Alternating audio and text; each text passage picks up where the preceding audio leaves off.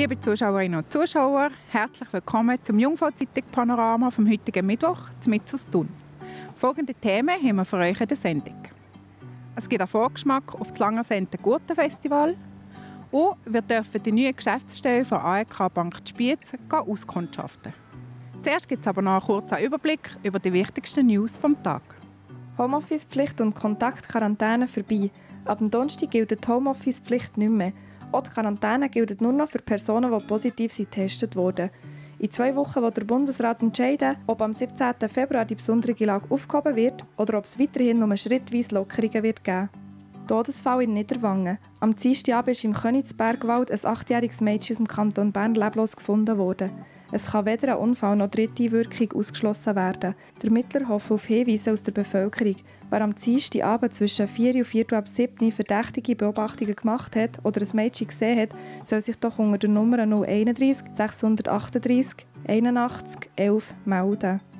Rosige Aussichten für Jobsuchende. Die Lage am Schweizer Arbeitsmarkt hat sich laut der Konjunkturforschungsstelle von ETH Zürich weiter aufgehellt. Besonders verbessert hat sich die Lage im Bereich verarbeitendes Gewerbe und Grosshandel.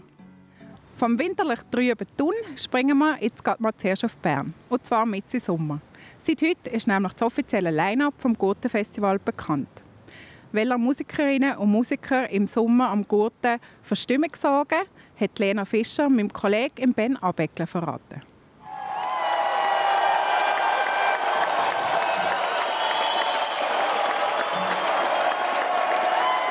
Zu den Highlights gehören sicher die HeadlinerInnen, wo wir Seed, Chemical Brothers, ähm, Megan Thee Stallion, Erika Badu dabei haben. Da freuen wir uns enorm. Black Eyed Peas gehören dort dazu. Ähm, und dann gibt es ganz viele weitere musikalische Highlights. Es gibt mega viele verschiedene Bands aus der ganzen Welt zu entdecken. Meine Favoritinnen, ich freue mich besonders auf Erika Badu, aber auch auf Arlo Parks oder Jamie XX. Und bevor es zu lang geht, machen wir hier mal einen Punkt. Die Vorfreude hat bei uns intern im Team schon ein bisschen früher angefangen, aber sicher, es ist markiert so quasi der offizielle Vorverkaufs- Vorfreudestart. Das kann man schon so sagen, ja. Wir äh, planen ein gutes Festival wie früher, wenn es um Anzahl Tage, Leute, Bühnen geht. Und wir freuen uns auf ein noch tolleres, nach zwei Jahren Ausfall von Intensität und Emotionen, die sicher besonders schön werden. Ähm, dass zum Beispiel, wenn wir jetzt im Gurten wären, da alles voll Leute wären. So tausende von Leuten, die da wären. Von Bern kommen wir auch mit zurück in die Nähe, nämlich nach Spiez. Dort hat die AEK Bank ihre Geschäftsstelle wieder eröffnet. Mein Kollege Patrick Schmidt hat das neue Design schon mal unter die Lupe nehmen. Für uns ist es immer sehr wichtig, ähm, dass wir die Kundennähe wirklich pflegen. Wir haben das in unserer Werbung auch sehr präsent, dass wir eigentlich immer in der Nähe von unseren Kunden sein Und darum ist es für uns auch klar gewesen, dass wir wirklich vor Ort für unsere Kunden da sein wollen. Und aus diesem Grund auch sehr freut, dass wir hier in Spiez jetzt den neuen Standort haben gefunden haben. Am bisherigen Standort waren wir nicht so gut sichtbar. Wir waren von der Straße leicht zurückversetzt.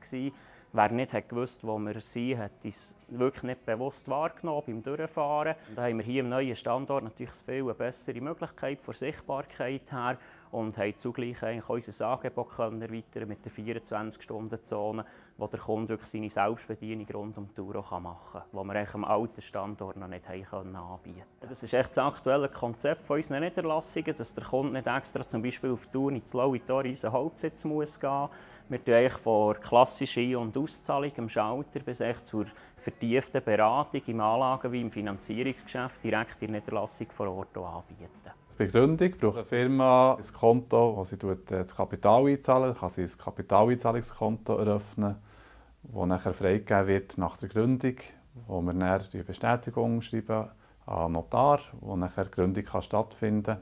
Dann braucht er vielleicht eine Beratung, zum Beispiel auch für einen Kontokorrentkredit, für kurzfristige Finanzierungen.